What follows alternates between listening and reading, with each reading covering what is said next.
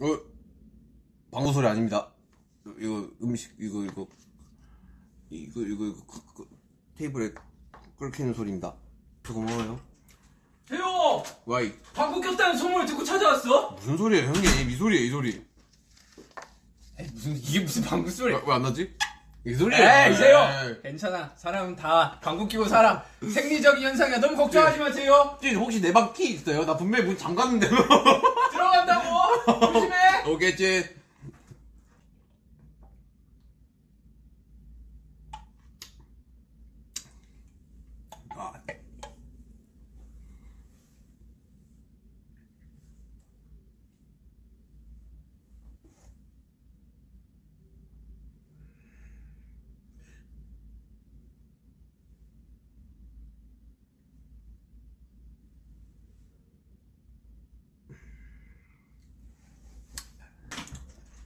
저희 트름했다는 소문을 듣고 찾아왔어. 아, 찐.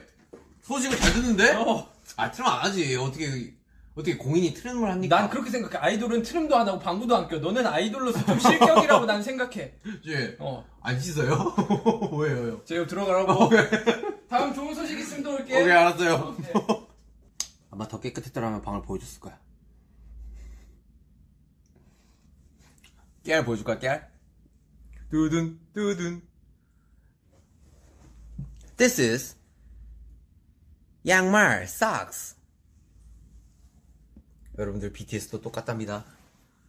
양말을 손빨래로 샴푸 이렇게 척 해가지고 저 심지어 저, 저 발목 양말이라서 작아가지고 이렇게 짜요. 말려. 어, 찐. 빨래한다는 소문을 듣고 찾아왔어. 아, 찐. 진짜요? 와, 이거 뭐야, 이거는?